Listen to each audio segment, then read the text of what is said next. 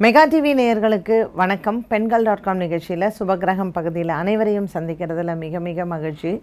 ரொம்ப நான் வந்து நேயர்களுக்கு நன்றி தெரிவிச்சுக்கிறேன். ஏன்னா என்னை பொது இடங்களில் பார்க்கும் பொழுதும் சரி இல்லை என்னை அலுவலகத்தில் நேரில் வந்து பார்க்குறவங்களும் சரி மேடம் மெகா டிவியில் பன்னெண்டரை மணி ஆனால் நாங்கள் மிஸ் பண்ணுறதே கிடையாது. சில ஹஸ்பண்ட் எல்லாம் கூட வருவாங்க ஜாதகம் பார்க்குறதுக்கு. இல்லை என்ன எங்கேயாவது நெ- கோவிலில் அப்படி எங்கேயாவது பார்க்கும்போது சொல்லுவாங்க ஐயோ மேடம் நாங்கள் சாப்பாடு கேட்டால் கூட என் மனைவி சொல்லுவாங்க நான் மேடம் என்ன சொல்கிறாங்கன்னு கேட்டுட்டு அந்த பூஜையெல்லாம் என்னங்கிறத எழுதிட்டு அப்புறம் நான் சாப்பாடு போடுறேன் அப்படின்னு சொல்லுவாங்களாம். அந்த அளவுக்கு இந்த பெண்கள் டாட் காம் நிகழ்ச்சியில் எல்லா பகுதிகளுமே பார்க்குறேன்னு சொல்கிறவங்களும் என்கிட்ட நிறைய பேர் இருக்காங்க. அதனால் தொடர்ந்து இந்த பெண்கள் டாட் காம் பாருங்கள் சுபகிரகம் மட்டுமல்லாமல் மற்ற அந்த பகுதிகளில் சொல்லக்கூடிய விஷயங்கள் அனைத்துமே உங்களுக்கு ரொம்ப உபயோகமாக இருக்கும். ஸோ இந்த தகவல் நான் இன்றைக்கி வந்து உங்கள் எல்லாருக்கும் ஒரு நன்றியை தெரிவிச்சுக்கணும்னு நினச்சேன்.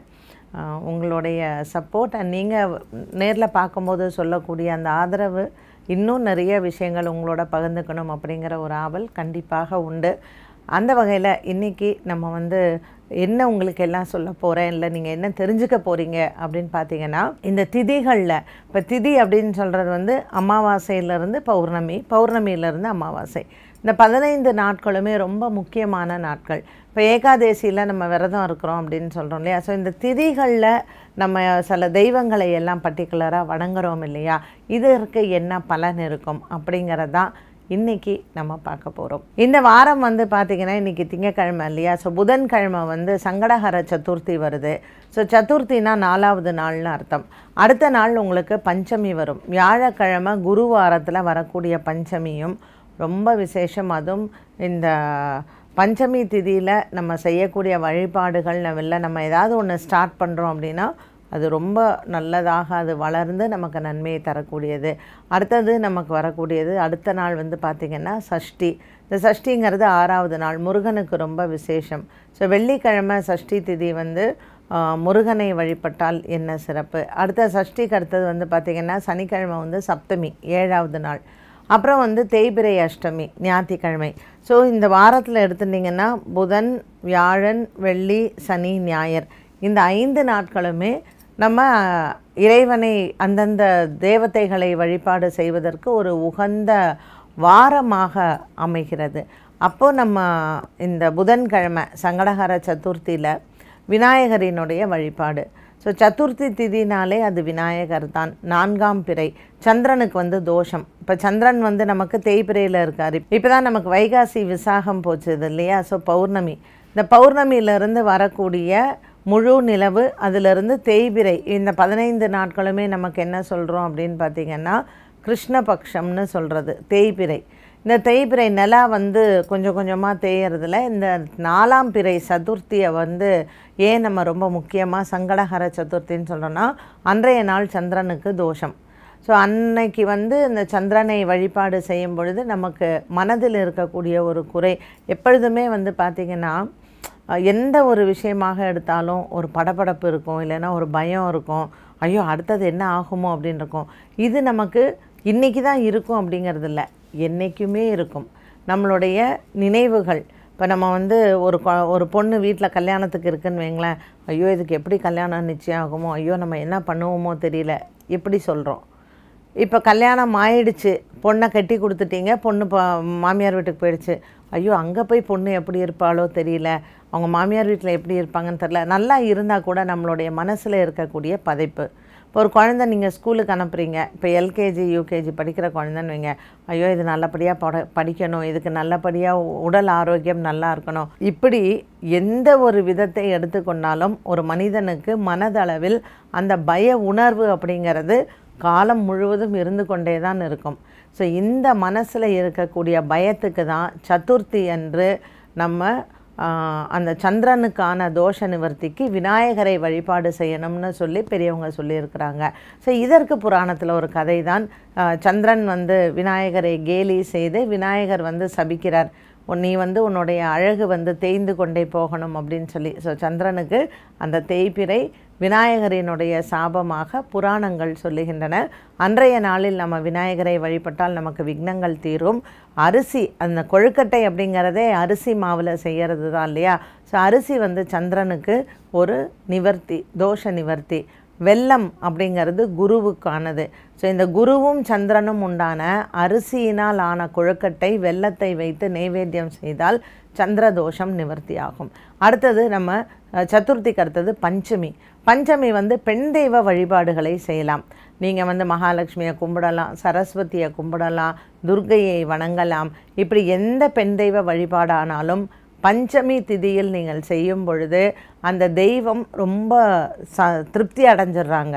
ஸோ அந்த தேவதைகள் எல்லாமே திருப்தி அடைஞ்சு நமக்கு கேட்ட வரத்தை கொடுக்க அவங்க ரொம்பவே ஆசைப்படுவாங்க. அதனால பஞ்சமி திதியில் நீங்கள் துர்கையை வணங்கலாம் மாரியம்மனை வணங்கலாம் மகாலட்சுமியை வணங்கலாம் சரஸ்வதி தேவியை வணங்கலாம்.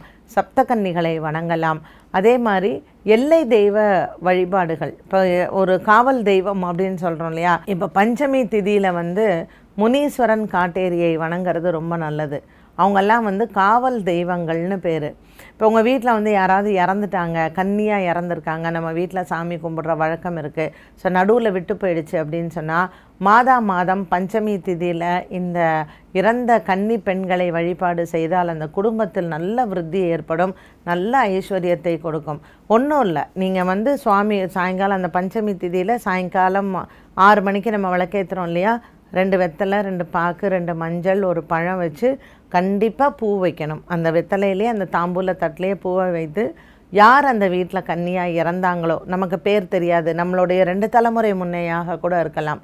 நம்ம பிரார்த்தனை பண்ணுறதான் இந்த வீட்டுடைய காவல் தெய்வம் திருப்தி அடையணும்னு நீங்கள் வேண்டிட்டு அந்த வீட்டினுடைய சுமங்கலிகள் யார் இருக்கீங்களோ அந்த பூவை நீங்கள் வச்சுக்கோங்க. அந்த வெத்தலை பாக்கு அந்த மஞ்சள் எல்லாத்தையுமே அப்படியே யாருக்காவது ஒருத்தருக்கு நீங்கள் வீட்டுக்கு வர்றவங்களுக்கு அந்த தாம்பூலம் கொடுக்கலாம்.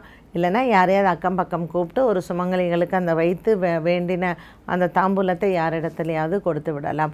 இப்படி இந்த வீட்டில் இறந்த கன்னி பெண்களையும் நம்ம வழிபட்டால் அந்த வீட்டில் எப்பொழுதும் சுபங்கள் ஏற்படும். வீட்டில் நல்ல ஐஸ்வர்யங்கள் பெருகும். இது பஞ்சமியில். அடுத்தது சஷ்டி. சஷ்டி வந்து ஆறாவது நாள். சஷ்டியில் வந்து முருகனுக்கு நம்ம வந்து வணங்கிக்கிறது தான் ஸோ முருகனுக்கு வந்து குழந்தை இல்லாதவர்கள் சஷ்டி அன்று முருகனை வணங்கி பிரார்த்தனை பண்ணி அவங்க வந்து ஒரு விரத்தம் இருந்தாங்கன்னா அவங்களுக்கு எல்லா விதமான பாகியங்களும் கண்டிப்பாக கிடைக்கும். சஷ்டிக்கு அடுத்தது சப்தமி. ஏழாவது நாள் வந்து பார்த்திங்கன்னா சூரியனுக்கு ரொம்ப உகந்த ஒரு நாள். அப்போ இந்த தடவை அது சனிக்கிழமை சப்தமி வருது. ஸோ காலையில் அந்த சூரிய உதயத்தில் நம்ம சூரிய பகவானை வணங்கி அன்றைக்கி கோதுமை நம்ம தானம் பண்ணோம் அப்படின்னு சொன்னால் அந்த சப்தமியில் ஏழாம் இடத்தில் என்ன க- அந்த ஜாதகத்தில் ஏழாம் இடத்தில் என்ன கலத்திர தோஷம் இருந்தாலும் நமக்கு அது விடுபடும். ஸோ அந்த சப்தமி திதியில் கோதுமை தானம் செய்யணும். சூரிய பகவானுக்கு போயிட்டு நீங்கள் நவகிரகத்தில் தீபம் ஏற்றி வழிபாடுகளை செய்ய குடும்பத்தில் கணவன் மனைவி ஒற்றுமை ரொம்பவுமே சிறப்பாக இருக்கும். அடுத்தது அஷ்டமி. எட்டாம் இடம் அப்படிங்கிறதும் கணவன் மனைவியிடையே இருக்கக்கூடிய ஒரு மனஸ்தாபத்தை போக்குவது தான் அஷ்டமி. ஸோ பொதுவாக இந்த அஷ்டமி திதியில் வந்து வாராகி அம்மனை நிறைய பேர் வழிபாடு செய்வாங்க. வீரபத்ரரை வழிபாடு செய்யலாம். சரபேஸ்வரரை வழிபாடு செய்யலாம். பிரத்யங்கரா தேவியை வழிபாடு செய்யலாம்.